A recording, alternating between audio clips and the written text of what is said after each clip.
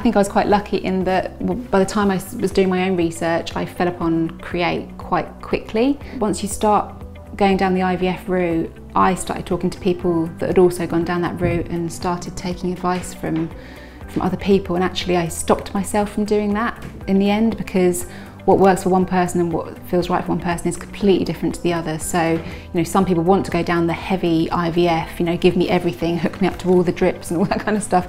Whereas for me, I was just like, no, I want to do as least possible to keep everything as natural as possible.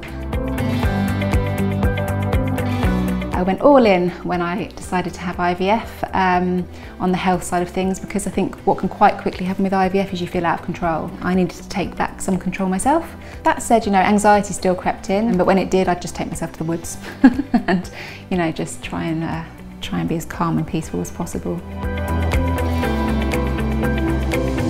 It's so easy for women to blame themselves. So, you know, I'm having IVF because something doesn't work, or I'm having IVF because, you know, I'm failing at something.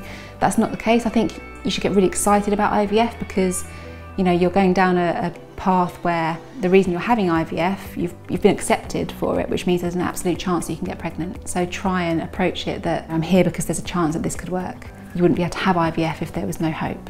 So, you know, there's hope in IVF.